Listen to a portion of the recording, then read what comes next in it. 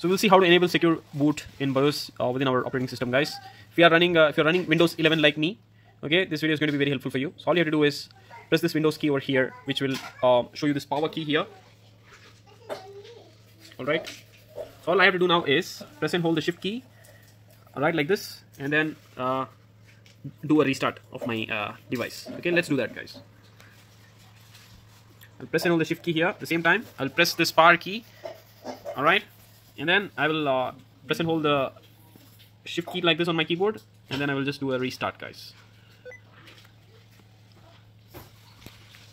So guys, as soon as I did the restart by holding the shift key, I should be uh, taken to the BIOS uh, setup menu where I will be uh, using the advanced menu to uh, enable the secure boot. So currently uh, what I could uh, recall is my PC is indeed having the secure boot feature enabled already. So it's, it's not going to be a problem for me, but however, it's important in case if on your end, if it is disabled, please go ahead and enable it for securing your device. So here guys, we have to select the troubleshoot option here using either you can use mouse or you can use the tab key here and hit enter. And then I will go for the second option advanced options. Alright and here what I will see is I will see something called UEFI firmware settings. Alright so guys this menu should be uh, same for any uh, device make. Okay? Uh, my laptop is from Asus brand. So it's not make specific it, it is basically OS specific alright? So if you're running Win11 like me on any PC this setup should be same. However within the UEFI firmware settings it could differ based on the make of your uh, computer. Whether it's uh, from Asus or whether it's from Dell. However up till here it should be same for most of your uh, device devices. Regardless of the uh, make. So I've done a restart guys okay? And here it has taken me to this BIOS utility you can see here it's this is going to be specific to uh, device make guys so currently I'm running Asus. So this is being uh, run on my Asus PC hence it would differ. So here if you're running Asus TUF F15 what you have to do is down here uh, below you will see something called advanced mode. I can just go ahead and press F7 key here. It will take me to, uh, to this advanced mode menu. Here I should select security. All right. I can do I can click on the security option here. So guys here what I can see is just below here just below the page you will see secure boot. I just have to expand it. Or by just clicking uh, the secure boot I will come here. Here you will see something called secure boot control. So it will normally uh, it, it may be in disabled mode unless you have done it. But by default this option will be enabled. So in case if it is disabled over here like this you just have to click this menu here or drop down and select enabled. And once you do that guys all you have to do is you have to press the F10 key to save the configuration. All right?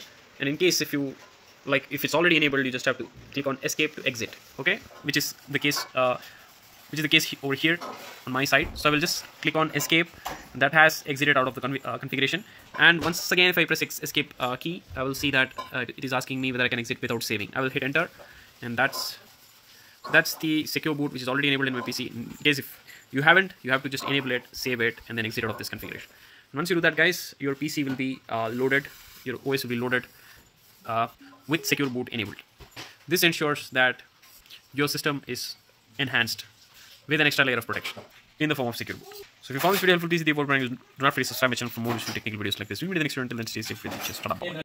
So welcome to my channel. Happy Monday, everyone. In this video, I'm going to show you how to enable secure boot in BIOS uh, within your operating system. Okay. So let's quickly begin. So this particular security, sorry, secure boot is a security feature. Okay, in BIOS that ensures our system only loads trusted software during uh, startup, guys. So it also helps protect our systems against malwares, rootkits, and other unauthorized OS modifications. All right? And I can just give you a few points on why we should be enabling this on Windows 11 particularly. Okay? Like I uh, said before this prevents unauthorized software uh, from uh, loading on uh, bootloaders okay? And then uh, its uh, associated drivers from running. Okay? Along with that enabling this feature again definitely enhances system security protects our systems against malwares that tries to modify the, the boot process in particular all right and uh, microsoft has mandated secure boot to be enabled for uh, all windows 11 installations guys. And also uh, this ensures that uh, this particular feature improves the firmware integrity guys. Only uh, trusted firmware uh, components are loaded during the boot process. So let's quickly get started guys. Probably i will put this portion in the backend